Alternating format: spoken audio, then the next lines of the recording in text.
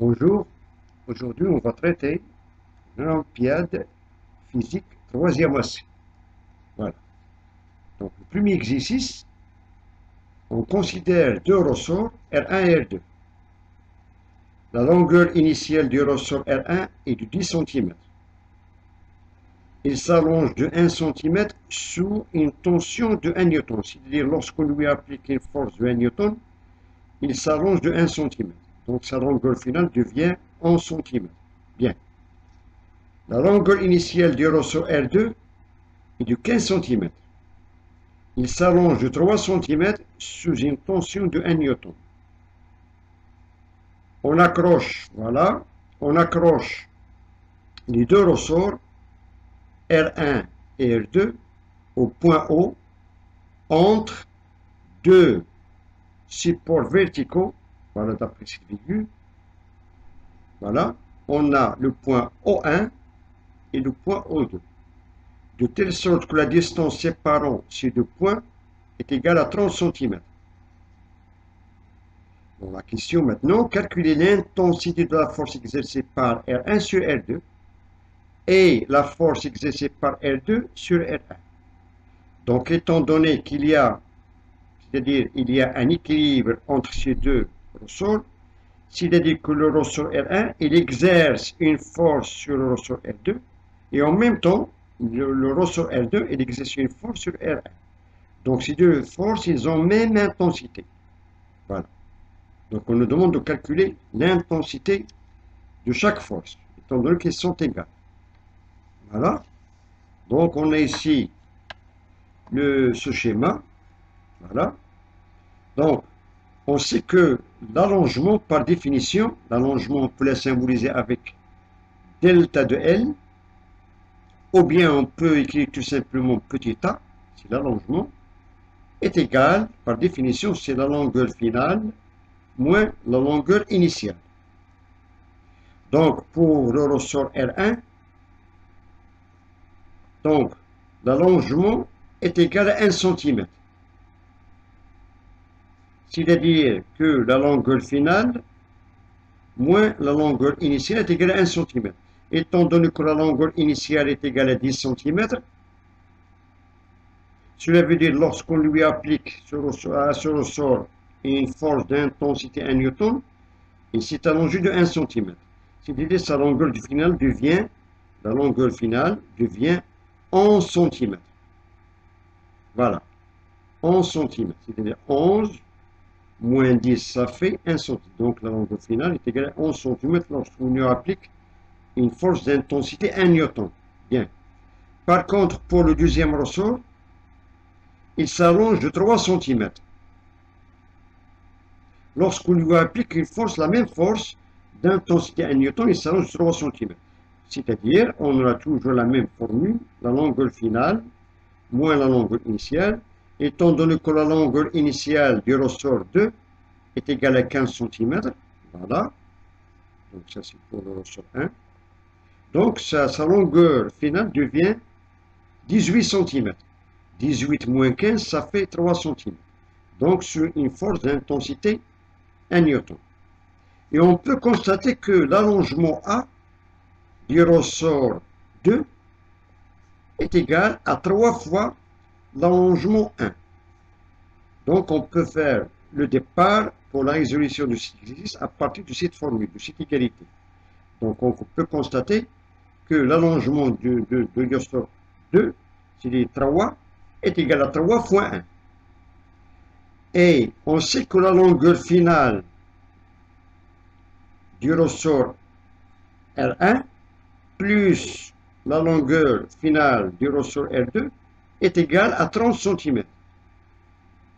C'est-à-dire que lorsqu'on lorsqu'on a, une force qui est exercée par le ressort R1 sur le ressort R2, de même la, force exercée par le ressort R2 sur la force R1 sont égales.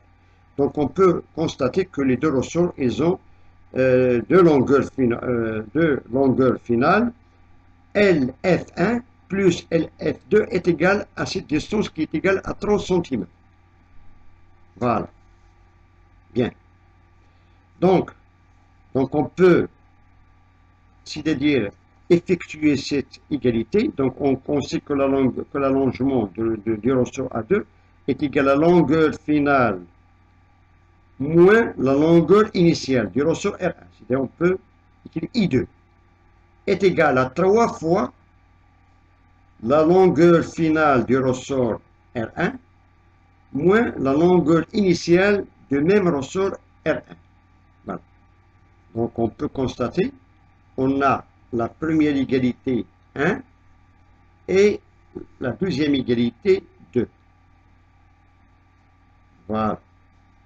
Donc, on peut faire l'application numérique pour cette égalité. Donc, revenons à l'égalité 1. On a la longueur finale qui est inconnue du ressort R2, moins la longueur initiale du ressort R2, qui est égale à 15 cm. Voilà, moins 15. Qui est égal à 3 fois facteur la longueur finale du ressort R1, de même il est inconnu. On ne peut pas la connaître. Par contre, la longueur initiale du ressort R1 est égale, pardon, est égale à 10 cm. Voilà, et on peut fixer cette égalité, on aura la longueur finale moins 15 est égale à 3 fois la longueur finale du ressort R1 moins 30. Donc on peut faire ajouter, c'est-à-dire ce nombre de l'autre côté, donc il devient positif, et on aura la longueur finale du ressort R2 est égale à 3 fois la longueur finale du ressort R1 moins, donc on a ici moins 30 plus 15, ça fait tout simplement moins 15. Voilà. Et on a, d'après l'égalité 2, on a la longueur finale du ressort R1 plus la longueur finale du ressort R2 est égale à 30. Donc on a ici un système de deux équations. Donc on peut tirer à quoi est égal ici d'après cette formule. L d'égalité, pardon, L de F1 est égal à 30 moins L de F2. Et on peut remplacer la longueur finale du ressort R1 dans cette égalité. Voilà. Donc on aura, d'après, on peut la remplacer ici, et on aura la longueur finale du ressort R2, voilà, est égale à 3 fois, 3 fois la longueur finale du ressort. C'est 3 fois cette soustraction. Donc on a c'est 3 fois 30 moins la longueur finale du ressort R2, moins 15. D'après cette, cette, équation, on a un, seul inconnu, c'est la longueur finale du ressort R2. Et on peut fixer, voilà, R2 est égal, 3 fois 30, ça fait 90, moins 3 fois L, F2, moins 15 on peut faire passer de l'autre côté L de F2 plus 3 fois, donc on aura 4 fois la longueur finale du ressort R2, qui est égal à 90 moins 15, ça fait 75. Voilà, 75. Et on a trouvé maintenant la longueur finale du ressort R2 est égale à 75 sur 4 et on trouve que la longueur finale du ressort R2 est égale à 18,75 cm. Voilà. Donc il nous reste tout simplement la longueur finale de F1 est égale à 30 moins 18,75. C'est-à-dire que la longueur finale du ressort R1 est égale à 11, 25 cm. Voilà. Et si on fait la somme de 11,25 cm avec 18,75, et on va trouver 30 cm, c'est-à-dire la distance entre O1 et O2. Donc, maintenant, revenons à la question à quoi est égale l'intensité de la force exercée. Bon, étant donné, donc, étant donné que la longueur finale du ressort R2 est égale à 18,75, et on a la longueur initiale de ce même ressort de 15 cm, donc il s'est allongé de 3 cm, 75. 3 cm, 75 sous une tension F qui est inconnue.